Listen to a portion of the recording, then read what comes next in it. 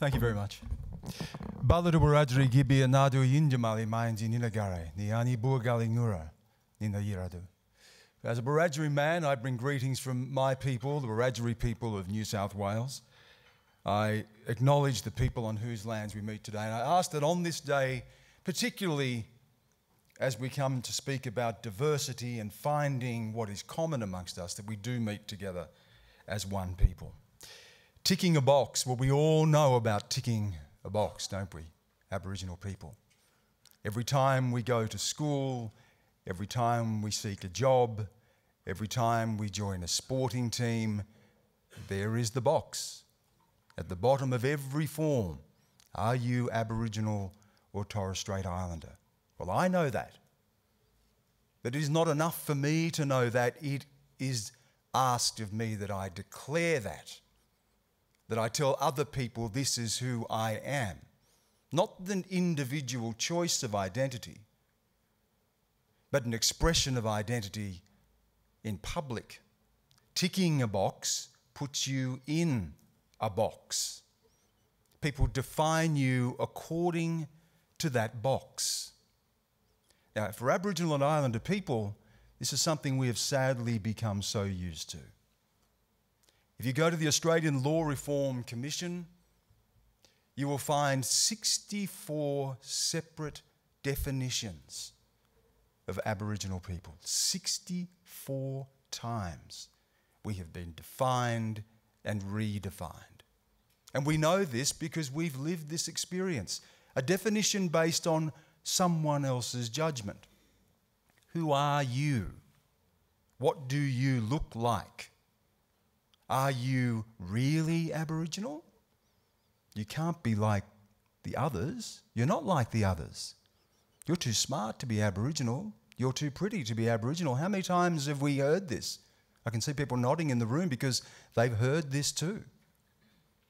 This narrow definition of what it is to be an Aboriginal or Islander person. This taking of our own agency. Judgments that were made on the basis of appearance that separated families. Defined one member of a family one way and another member another way, which meant that people could be taken from their homes, separated from their families, on the arbitrary judgment of an Aboriginal mission manager or a policeman or a welfare officer. We've all experienced this as well.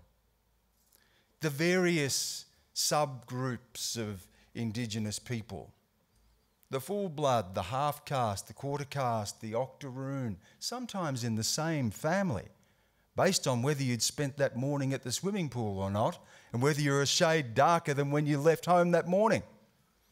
These are the things that have been used to define us. And it hasn't just been a definition for, for the purposes of grouping us or collecting data.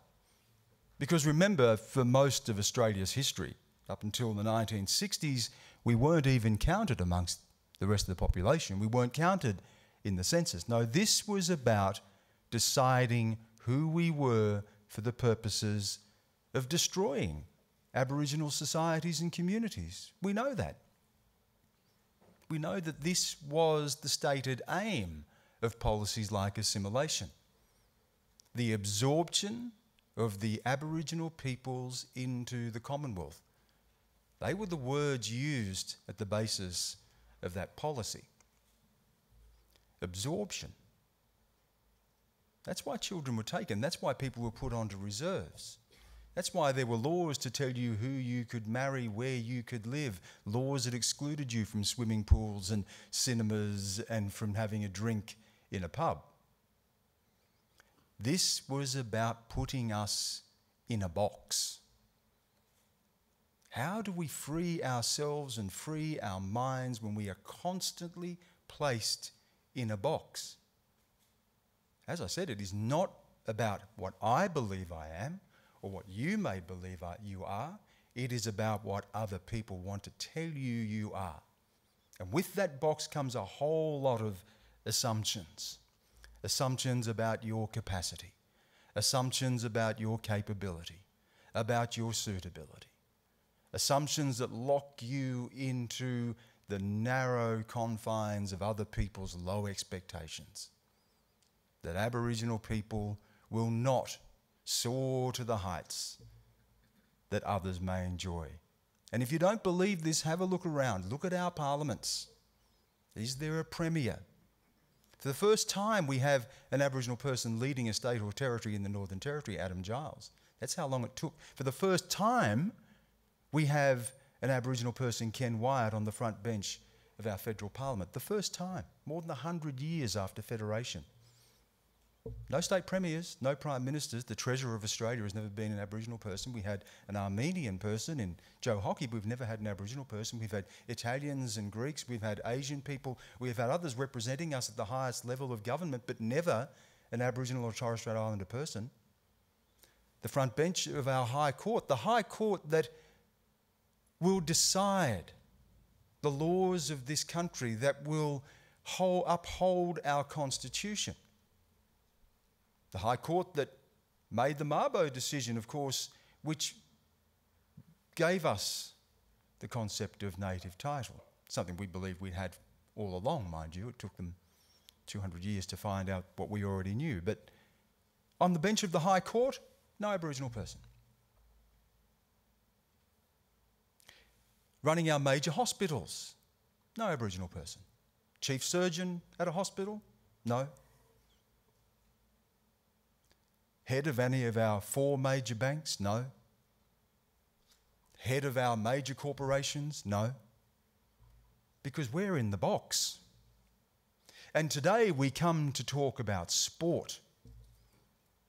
Now we know the incredible achievements of Aboriginal people in sport. We know the names boxing, Lionel Rose, the Mundine family, AFL, names like O'Loughlin and Winmar and Farmer and Long.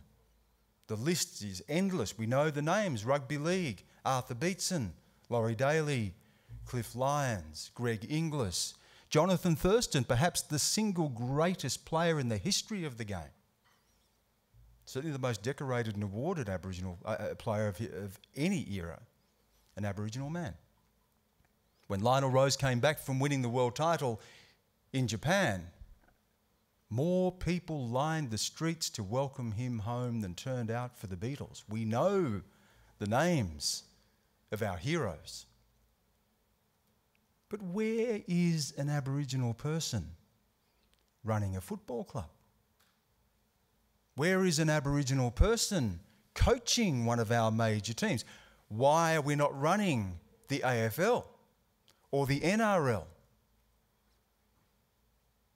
Recently, there have been openings on the AFL Commission. There are people represented there from a whole broad spectrum of our community. Not one of us, not an Indigenous person, because we are in the box. This matters. Being put in a box matters. It limits us and it defines us. And we know, we know, don't we, where that comes from.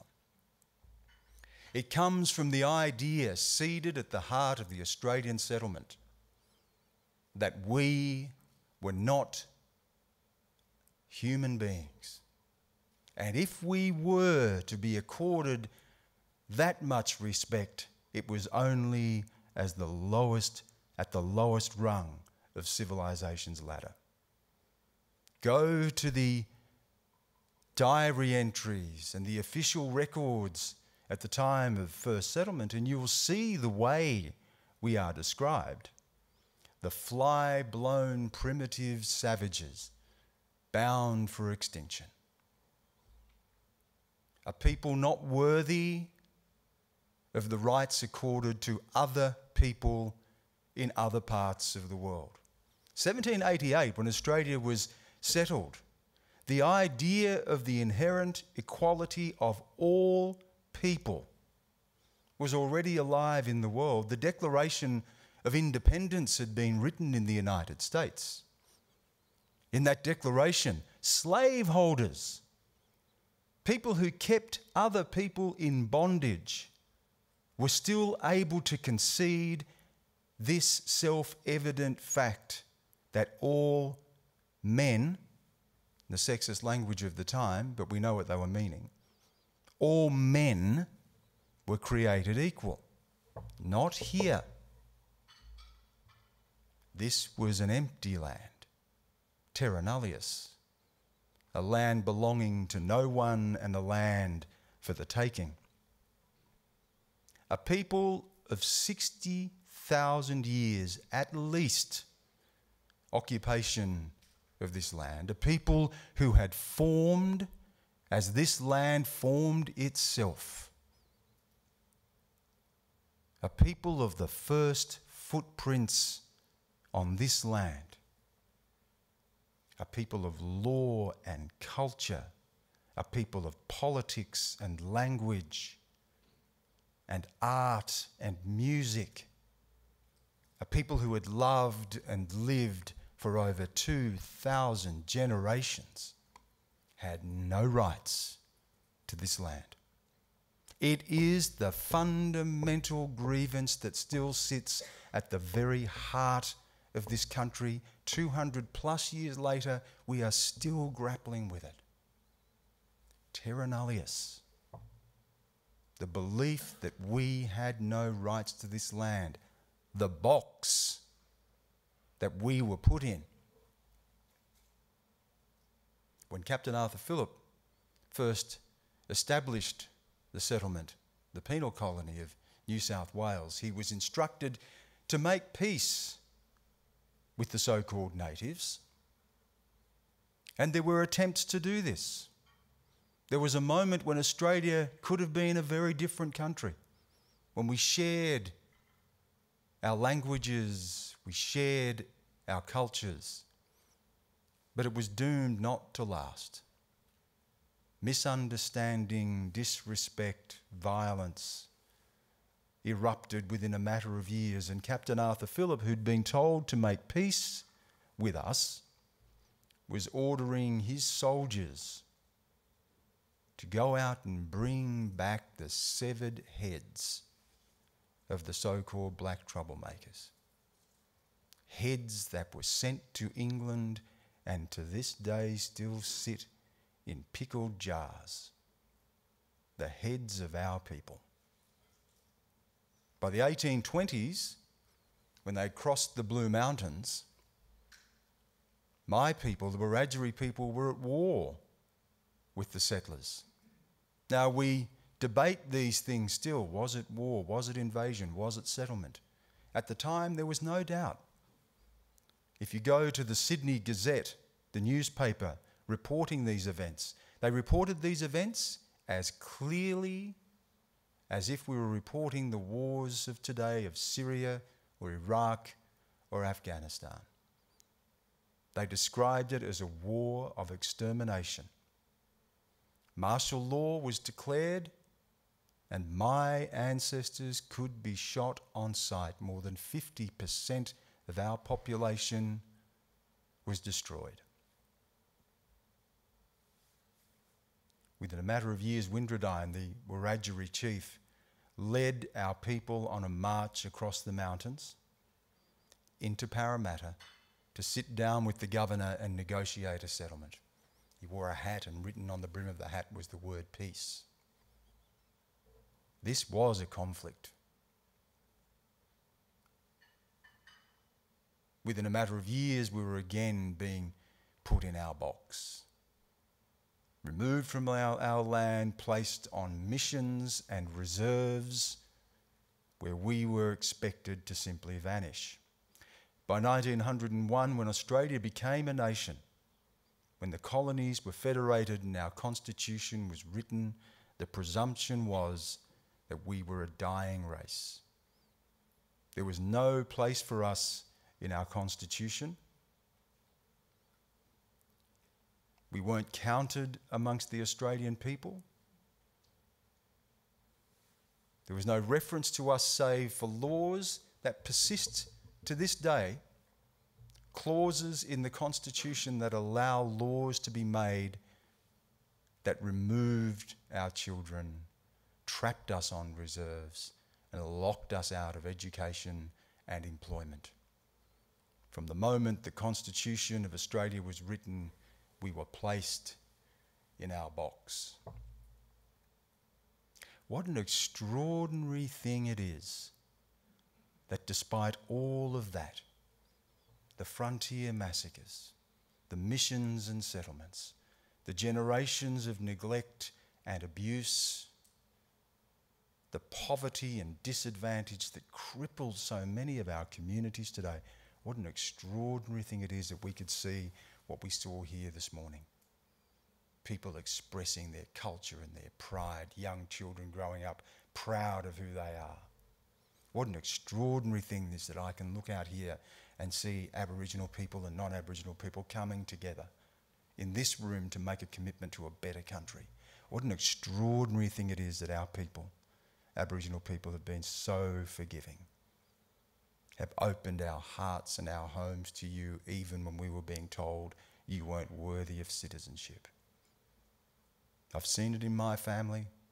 My grandfather, who signed up to fight a war for this country when he was not yet counted as a citizen, to come home to a segregated country where he couldn't board the train in Sydney to go back to his home in full uniform, where he could not share a drink in a pub with the men he fought next to, but never stop believing in a better country. We are Australia's greatest gift. Australia should be thankful for the resilience and the survival and the spirit of our people and the way that we still offer that to the country, the incredible generosity, the generosity that we saw this morning, those people coming and welcoming us to their country and sharing that with all of us. What an extraordinary thing. What an extraordinary thing it is that we can see Aboriginal people succeeding in sport to the extent that we do. And what an incredible thing it is that sport has provided that window that we can look through and imagine a better country, that we can see black and white playing together in brotherhood and sisterhood, where we can see people coming together around community, when fans can put on their colours and go and cheer for a person who otherwise would have been locked out of this country. In sport, we hope that we find a way of breaking free of that box. In sport, we hope that we see a glimpse of our better selves, a glimpse of a better Australia. In sport, we imagine what we could be, the heroes in all of us. But I also wonder sometimes if that's just not a mirage. If for those moments when the ball is in play, we can suspend our belief. We can imagine the country is better than it really is. That's the only conclusion I could come to after the events of last year. In 2015, Australia turned to face itself again. In 2015, we met again, still across that divide of history. in 2015 on the sporting field, that place that we hold most sacred, that place that is the crucible of the Australian identity, we turned on an Aboriginal man. A voice in a crowd that taunted Adam Goodes as an ape grew into a crescendo of boos that echoed from one football ground to another. One voice became the voices of thousands of people. Here was a man who believed in the best of Australia. Here was a man whose mother was taken from her family, put into that box that said Aboriginal people were not good enough and you needed to be bred out. Here was a man whose resilience and courage and determination lifted himself above a childhood of dislocation and poverty, a nomadic childhood of moving from town to town, a childhood of broken families. He was a man who reached the absolute top of his field. A man not just judged one of the great players of this time, but one of the great players of all time. A dual Brownlow medalist, a premiership winner, a leader of men. Not just an Australian, an Australian of the year. And this man was forced to leave the field because of the humiliation, the chorus of condemnation that told him, You're not one of us. Get back in your box. Adam Goodes could not even attend the AFL Grand Final. Think of that. Think of the hurt that that man must have felt that he could not face another crowd. That was Australia 2015. There are those who made excuses and there are those who tried to say this was not about racism, but we knew. We in the box knew. I wrote an article at the time saying I could not speak to what is in the minds and the hearts of the people who booed Adam Goodes, but I could speak to what we heard. And we heard a howl of humiliation that echoed across 200 years plus of dispossession and suffering and injustice, the howl of stolen children the howl of beheaded bodies, the howl of mothers torn from their families, the howl of fathers who could not work to feed their families, the howl of people locked up on reserves with every aspect of their life controlled. That's what the booing of Adam Goodes said to us. It was a howl. And anyone who imagined otherwise, anyone who excused that behavior, had no idea who we were as a people because they had not been in our box. If we take the Adam Goodes booing, if we take our history of neglect and suffering, we could so easily condemn this country. But we know that's not the full story. I know that's not the full story because I look out here today and I see people who tell me that is not who we are. I have seen people stand with us to say, no, Australia is better than this. I've seen people who stood with us in the 1930s when we began to agitate for citizenship. The people who voted in the 1967 referendum to acknowledge our full belonging to this country, to count us among them. The people who got on buses to protest with us against segregation. The people who marched for reconciliation right across the country.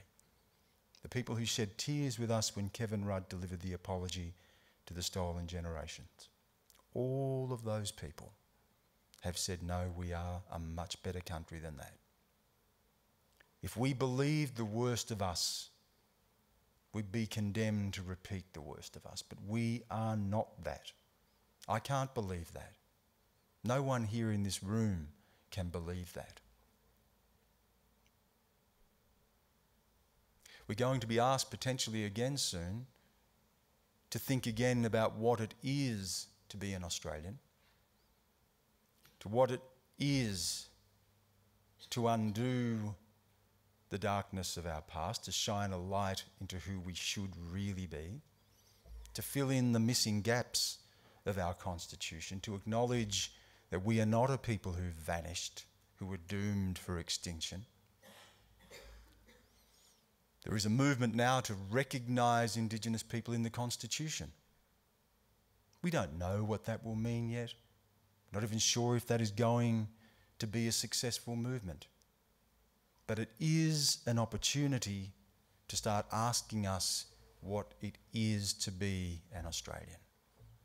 For non Indigenous people, how do you connect not to 200 plus years of history, but to 60,000 years of tradition?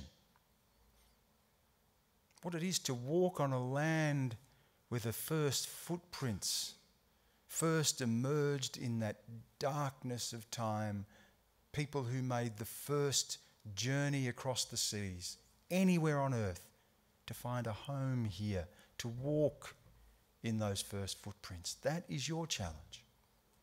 Our challenge, Aboriginal people, is to say, where do we belong? Are we always going to sit on the margins? Are we going to be outside of Australia? Are we going to continue to identify ourselves around a history of loss and suffering and grievance and misery? Or are we going to imagine a better future for ourselves? Are we going to accept the full responsibility and challenge of our citizenship of this country? Are we going to draw a line in the sand too and reconcile with the people who otherwise would have harmed us? Are we prepared to do that? I think we are. I think we are a people who are prepared to look to the future and not look to the past. We need to free ourselves from the bonds of our own history.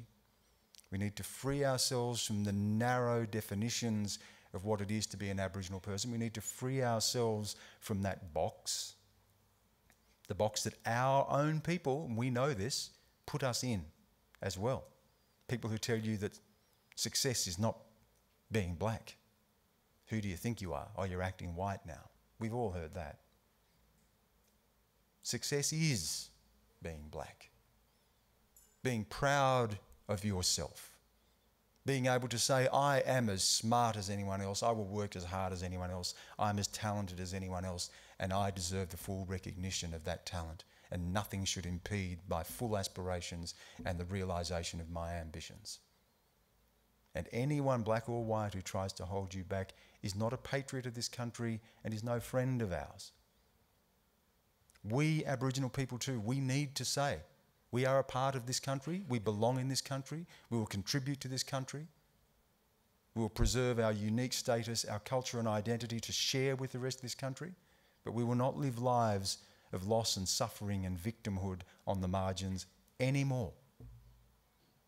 We need to have this conversation now. What political form this is given, what changes to the Constitution, what form of recognition, what treaties may be signed, all of this is to be worked out. But unless we actually come together and know what our destination is, what we are prepared to, to relinquish in order to build a nation, if we, are, if we can't do that, then we are nowhere. We had that moment last year with Adam Goodes that made us ask those questions. We cannot allow this moment to pass. In 2000, Australia had its greatest sporting moment. I stood in the stands as the eyes of the world were upon us. I stood in the stands as I saw the flags of all nations enter the arena. I saw Australians holding their flag aloft and singing their anthem with pride. And it was a dark, dark moment of the soul for me. I stood there feeling so alone and so estranged from this country. There was a hole where my country should have been. I looked at those flags and I didn't see my flag. I heard that anthem and I didn't hear the story of my people. For we are young and free Australia is not young, it's 60,000 years old, and our people aren't free. We are locked up more than any other people in this country. I stood there and I wondered, how is it that in a country as remarkable as Australia, we can still feel as if we don't belong, as if we were in this box? I looked out and there was an Aboriginal woman at the centre of this incredible ceremony. Cathy Freeman lighting the torch for the rest of the world. a woman who had struggled with her own sense of belonging, a woman whose grandmother had been taken from her family, a woman who had seen her father die young. A few nights later, that same woman ran that remarkable race with the pressure of Australia and the weight of all expectation on her shoulders, and carrying with her the dreams of her people. She won that gold medal, collapsed to the ground, and then rose again to carry our flag. We were there. And an Australian flag, together, a symbol of what this country could be. And written on Cathy Freeman's body were three words Cause I'm free. Free of the history, free of the low expectations of others, free of being put in that box. We can all be free of that box. We can all be free in a new Australia. But it is not going to happen without effort. It is not going to happen without asking who we can be to really make ourselves free. Thank you again.